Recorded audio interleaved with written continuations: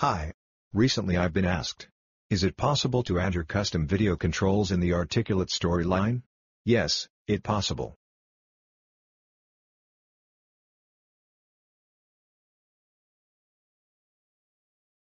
Let's see how this is done. First, let's look at the timeline. These buttons switch standard control. Also, we have a video and a transparent rectangle. This rectangle brings up a layer of control buttons when you hover over it. You should pay attention to this important trigger. Here we put the float value equal to right. Why? By default, this value is equal to none, which is equal to left by default. If we have left parameter, the video transformation point will be from left to right. But in this example, we need right to left transformation. How to turn on and off the standard controls. Two triggers are responsible for this. This code enables controls. Pay attention to 0. This is the serial number of the video in the project.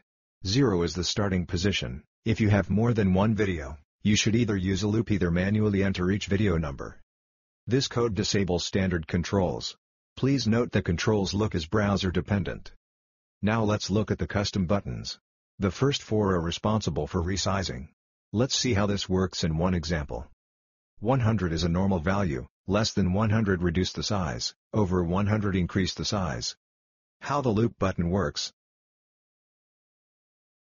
Next, let's look at the change in video speed. The standard speed is equal to 1. All that less will slow down a video, and all that above will speed it up. And last, go to a full screen button. This code is adapted for the most popular browsers. That is all I want to show you today. See you.